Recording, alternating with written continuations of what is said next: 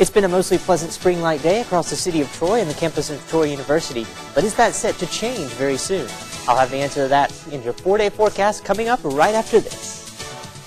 Now, I want you to take a look at this. I'm pretty sure most of you music fans are familiar with the chart-topping sensation Hot and Cold. I think it was written about Nebraska. Take a look at this. 10 degrees in Rapid City. Right over here, 60 in Pierre. And get this, the high in Rapid City yesterday, 77 degrees. And even more bizarre, they're under a blizzard warning here in these counties in orange, but this county was also under a tornado warning earlier at the same time.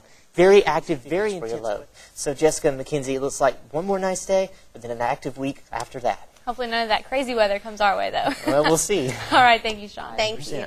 Conditions across the state look like this. No precipitation being reported across the major cities of Alabama, but we do see some scattered cloud cover with temperatures in the 60s and the 70s.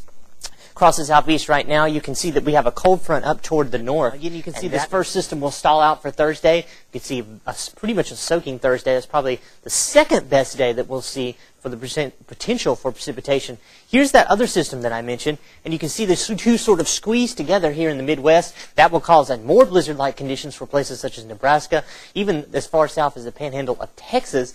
And you can see we'll see more rain and thunderstorms begin to move into our area for Friday, and that will continue for Saturday. The best chance for the formation of thunderstorms that could produce tornadoes looks like it will be Friday night into Saturday, so be sure to plan your week. We have that severe storm situation. But really, you don't even really need to see this surface map to see where the divergence in temperatures is.